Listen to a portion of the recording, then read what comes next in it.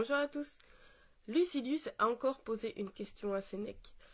Et Sénèque le trouve un peu trop ardent dans son désir d'apprendre. Alors avant de répondre à sa question, il va lui faire quelques recommandations. Alors, il dit il ne faut pas cueillir ça et là, euh, en ce qui concerne les passions, mais il ne faut pas non plus envahir.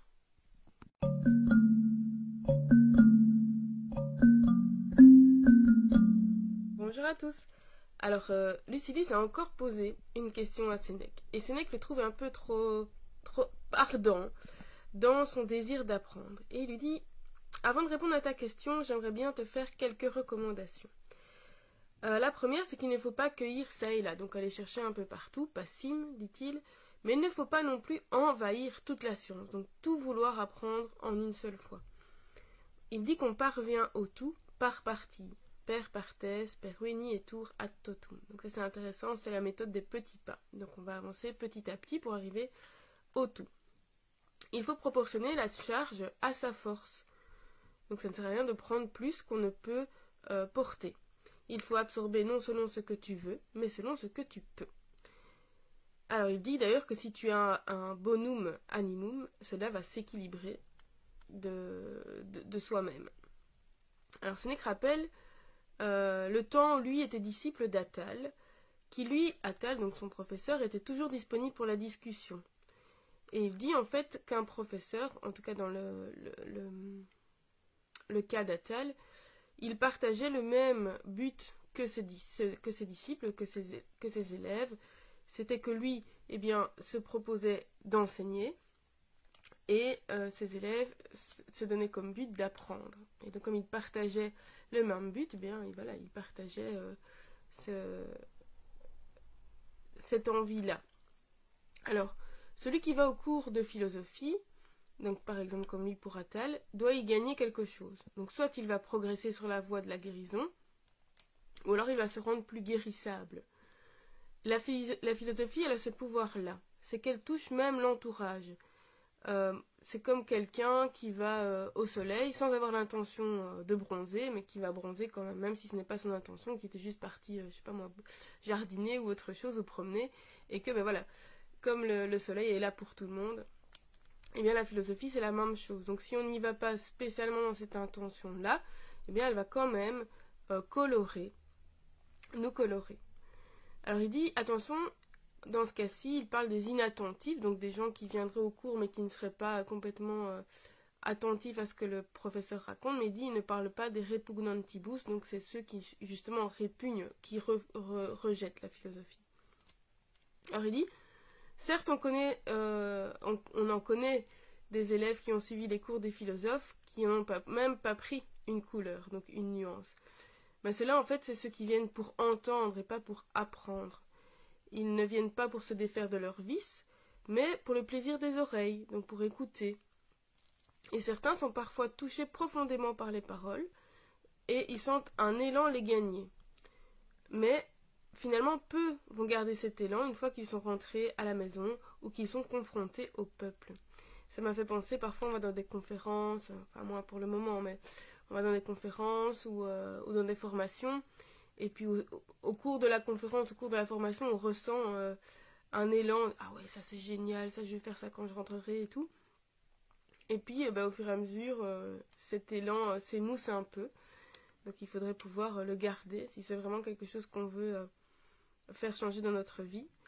Alors il dit c'est facile d'inciter son auditoire à vouloir le bien, parce qu'en fait, on a tous, la nature nous a donné à tous les fondements et le germe des vertus. Donc nous avons tout ça en, nous, et donc finalement, il va être facile d'éveiller ça. Et euh, c'est d'autant plus efficace si on utilise des maximes qui vont être dites en vers, parce que cela va frapper davantage les esprits que la prose. Euh, alors on a euh, un exemple ici. Donc c'était comparé à, une trompette. Et donc quand on, quand souffle dans une trompette, eh l'air va passer par un fin tuyau pour ressortir et projeter avec plus de puissance par le pavillon qui est beaucoup plus large. Eh bien, en fait, la, pensée, quand elle est passée à travers la contrainte d'un verre, donc euh, finalement, ben, ça va, on est obligé de contracter la pensée pour correspondent au schéma euh, du vers de la poésie, eh bien ça va donner plus de force à ce qui est dit. Donc j'aime bien cette image-là, le fait de, voilà, on est obligé de comprimer sa pensée pour pouvoir lui donner plus de force. Et elle va avoir plus de force, je pense, pour celui qui produit cette pensée, mais aussi pour celui qui la reçoit. Et alors, Sénèque nous dit que les maximes poussent à reconnaître la vérité. Donc en général, euh, quand on va écouter un proverbe, on va dire, oui, bien entendu, on ne peut pas euh, aller contre ce qui est dit. Alors ici, il, il, donnait deux exemples. Is minimo eget mortalis qui minimum cupit. Donc le mortel qui désire peu, euh, ben, celui-là a besoin de peu. Et quod vultabet qui vele quod nat satis est potest. Donc celui euh, qui peut vouloir ce qui est suffisant a ce qu'il veut. Alors quand on voit que l'idée euh, fait son chemin dans l'esprit de l'autre, eh bien il faut continuer. Il faut en profiter, particulièrement chez les jeunes qui ne sont pas encore tout à fait corrompus, nous dit Sénèque. Alors Sénèque écoutait Attal avidement. Il était prêt à suivre tout ce qu'il disait sur la pauvreté, la sobriété, les désirs. Et certains changements sont, sont restés chez lui. En fait, au début, seulement certains changements sont restés parce qu'au début, il voulait tout appliquer, euh, mais ses ambitions ont dû faire face, il le disait déjà euh, tout à l'heure, ad à la vie de la cité. Donc, euh, tout n'était pas applicable selon lui. Par exemple, alors les choses qu'il a gardées, il ne mangera, il ne mange plus ni huîtres ni champignons. Il ne met pas de parfum, parce que pour lui, la plus exquise des odeurs, c'est de ne rien sentir. Il ne boit pas de vin, il ne prend plus de bain chaud, comme c'est la mode à l'époque. Et il dit que parfois l'abstinence totale est plus facile que de, devoir modérer quelque chose. Donc euh, complètement s'en passer est plus facile que euh, d'être euh, raisonnable. Alors Sénèque veut montrer la différence entre l'impétuosité juvénile, donc quand on est jeune et qu'on a envie de tout appliquer, et ce qu'il continue à faire à son âge. Donc lui, il dit qu'il est Sénèque, vieillard. Alors il y a un passage sur le, fait qu'il a été végétarien. En fait, euh, avait exposé les raisons pour lesquelles Pythagore ne mangeait pas de viande. Parce que... Euh, alors, il, exposait les deux, les deux avis, celui de Pythagore et celui de Sextus, donc qui était son maître. Donc Sextus, pour lui, il disait que manger de la chair rendait cruel, que l'homme pouvait se nourrir sans verser de sang, et que la trop grande variété de nourriture est contraire à une bonne santé. Donc on n'en a pas besoin. Pour Pythagore, c'était plus quelque chose de, de spirituel, parce que selon lui, donc il parlait de métampsychose, c'est-à-dire que les âmes passent de corps en corps, et donc dans les corps des animaux, et donc en mangeant un animal, on risquait de manger un de ses proches, et donc de commettre le crime le plus horrible qui est le parricide, donc de manger quelqu'un de sa famille. Alors ce temps disait que, pour conclure, que si c'était vrai, donc si, cette métampsychose était vraie, euh, ben, ne, manger, ne pas manger de viande nous sauvait de faire des crimes, et que si c'était faux, ben, cela nous apprenait la frugalité. Donc dans tous les cas, il valait mieux se passer de viande. Alors Sénèque a suivi ce régime pendant un an, et puis en fait, il y a renoncé par amour pour son père, parce que son père euh, pensait que c'était euh, un peu du mysticisme oriental, et donc pour lui faire plaisir, il a arrêté d'être végétarien. Alors, Sénèque nous dit, quand on se lance dans l'étude de quelque chose, il faut connaître le but qu'on se propose. Et euh, donc il donne l'exemple que quand on fait de la, philosophie, il ne faut pas lire les textes comme un grammairien ou comme un historien.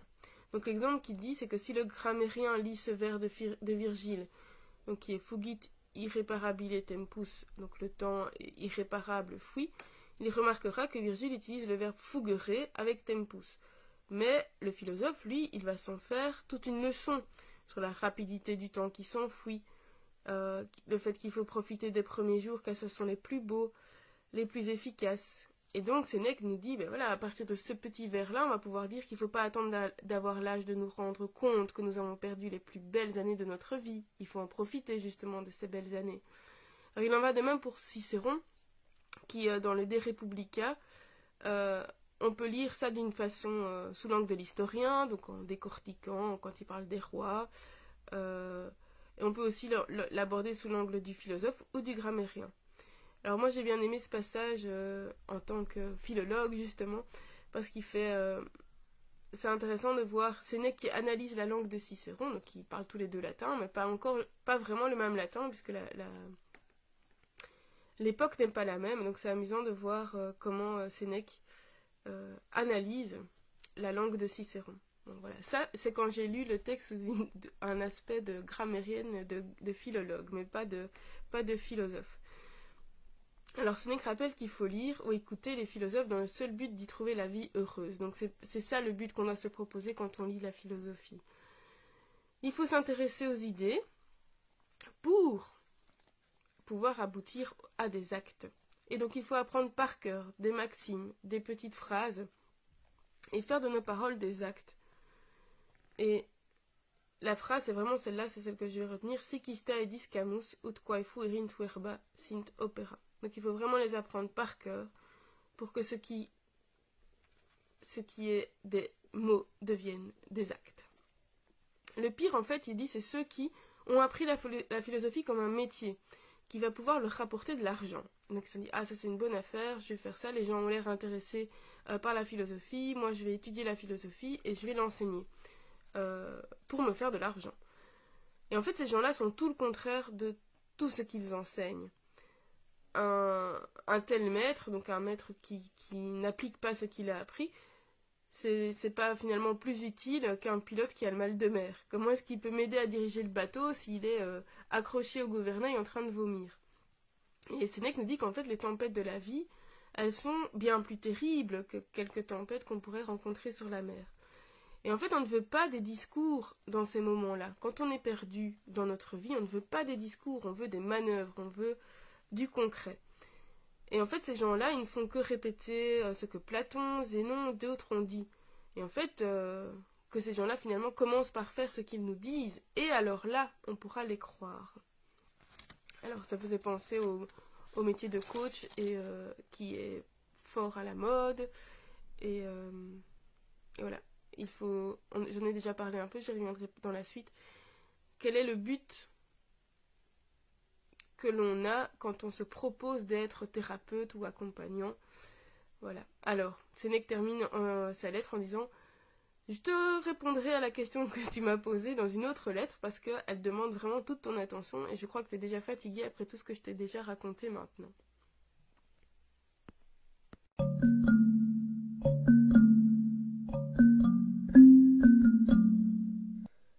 On reparle des accompagnants ou, des coachs, des, thérapeutes.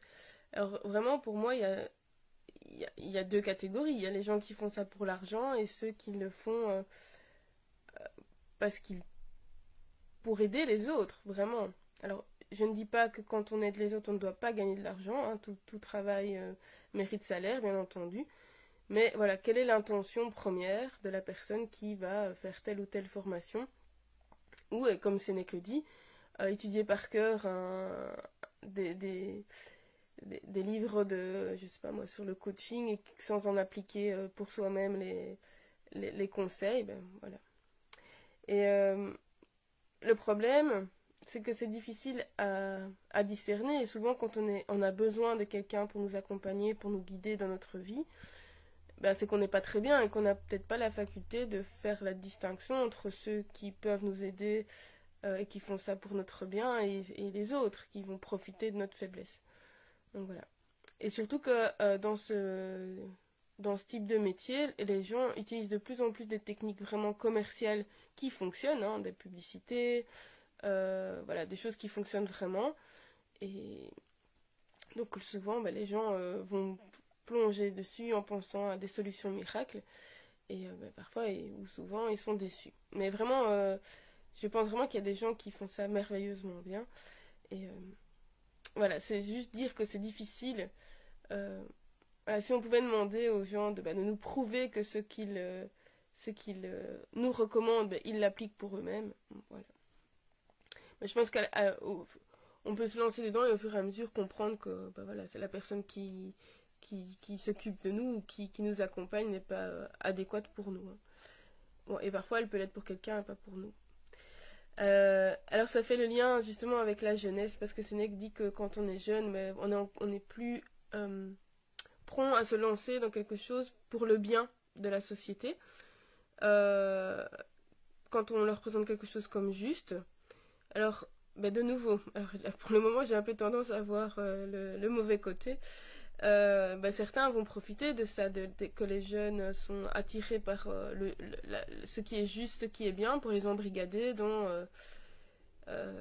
voilà, dans des choses qui, pour eux semblent formidables et finalement se retrouvent voilà, embarqués dans quelque chose qui, qui les dépasse. Mais bon, si on ne regarde pas tout le temps le côté sombre, c'est vrai que euh, les jeunes peuvent vraiment se mobiliser pour des causes justes. On l'a vu ben, euh, l'année passée en Belgique, en tout cas avec toutes les marches euh, pour le climat. Voilà, on voit que les jeunes, alors le problème c'est que souvent les jeunes sont pas écoutés ou décrédibilisés, et voilà, donc il faut qu'ils malheureusement parfois passer par la voix des adultes qui a tendance à transformer la voix des jeunes, je pense, je trouve parce qu'on veut, on veut faire correspondre leurs idées aux nôtres. Alors, et en parlant de jeunesse, voilà, même si je pense qu'on doit passer par certaines expériences, euh, voilà, pour euh, évoluer, je crois aussi qu'il y en a certaines dont on se passerait bien et que euh, on ne doit pas attendre d'être vieux ou d'avoir un certain âge, d'être adulte pour se rendre compte que ben, on a perdu ces belles années-là et que on aurait pu en faire autre chose. Et parfois je me dis, ben voilà, dans les, dans les familles ou dans, oui, dans les familles où, où la philosophie n'est pas présente, ben ça peut être intéressant de, de, de, lui donner sa place, entre autres à l'école, voilà. Et mais euh, pas comme étant quelque chose d'obligatoire, euh, voilà, parce qu'ici c'est le cas, hein, la philosophie est abordée hein, à l'école la philosophie ou euh, voilà, la recherche de sens, mais pas assez. On leur donne pas assez de moyens. Donc pour ça, il faut pouvoir discuter, il faut pouvoir donner des heures, des moyens en heures et des moyens avec des gens qui sont formés. Ça, je doute pas qu'il y ait plein de gens dans l'enseignement qui sont formés pour ça, mais on leur donne pas les moyens. Et donc c'est pas sur deux heures par semaine qu'on va pouvoir, en plus d'appliquer le programme, pouvoir discuter et répondre à des questions, écouter les élèves et parfois euh, euh, faire changer des idées reçues qu'ils ont. Parce que parfois on, en va entendre des choses, je reviens sur ce que j'avais dit la semaine passée, on va entendre des, remarques qu'ils font et on va s'énerver en disant oui mais bon pourquoi on peut pas penser ça, c'est pas possible. en fait finalement peut-être qu'ils répètent ce qu'ils ont entendu chez eux et pour eux c'est vrai et donc pouvoir décortiquer, parfois démonter des idées, euh, sans, sans démonter ce qui, est, ce qui fait euh, leur famille. Oui, je sais pas si vous voyez ce que je veux dire. Donc sans dire, mais non, dans ta famille, on pense vraiment pas bien. C'est pas ça l'idée, c'est voilà, décortiquer un peu. Mais voilà, pour ça, il faut du temps. Et finalement, je me dis, est-ce que ça sert vraiment de d'accorder plein plein d'heures à des choses euh, je dirais pas moins importante, mais ça c'est très important. Ça sert à faire un socle sur lequel on va venir bâtir, on va venir construire et ajouter des piles de savoir s'il faut. Mais voilà. Et euh, je reviens aussi sur l'importance de poser l'intention, de poser une intention quand on se lance dans, dans l'étude de quelque chose, ou même dans quoi que ce soit. Donc quand on se lance dans quelque chose, quelle, est mon intention Et euh, l'image de la trompette là m'a vraiment marqué. Et je pense que je vais me replonger dans. J'écrivais de temps en temps des haïkus. Euh, donc la poésie japonaise. Donc là, il y a vraiment une contrainte parce qu'on a autant de syllabes. Euh, et cette contrainte nous oblige à condenser ce qu'on veut dire. Et ça pourrait peut-être m'aider à canaliser justement ce flot de pensée et à le rendre plus clair comme le, comme le son de la trompette. Voilà. Bon, je vous retrouve la semaine prochaine pour la lettre 109. D'ici là, portez-vous bien. Prenez bien soin de vous ou à l'été.